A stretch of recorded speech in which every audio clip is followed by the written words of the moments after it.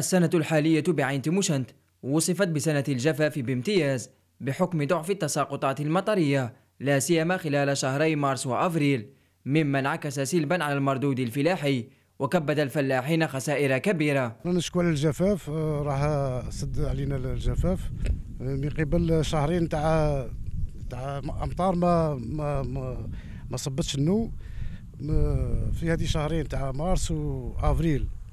و53 يوم تاع رياح رياح معصره وهذه غلبت الفلاحة. السنابل يعني قداش قداش الفلاحة يعني ما فيهاش نعمة ما فيها خسائر الفلاحين أضحت كبيرة ومطالب بضرورة تدخل المصالح التقنيه وتكوين لجان لمعاينة الأراضي. الوقت اللي باش تعمر فيه الفلاحة كما كما كما قال السيد قبلي خرجت سبولة لوطون باش تعمر ما كانش.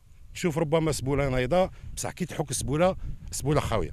للآن للآن المصالح الفلاحيه ما خرجت ما شافت ما عينت الأضرار الناجمة على على الجفاف. نطالبوا باللي المديرية العامة تاع المصالح الفلاحية بما فيها الولاية يخرجوا يديروا يديروا آه، معاينة برا. غير باش أو موان نعرفوا بلي تموشنت باللي منطقة ضربها الجفاف الجفاف اضحى يضرب أطنابه بالمنطقة مما يستدعي فتح نقاش حقيقي حول تداعيات الظاهرة وتدخل المستعجل للمصالح المعنية قصد دعم الفلاحين خاصة الصغار منهم وحتى المتوسطين.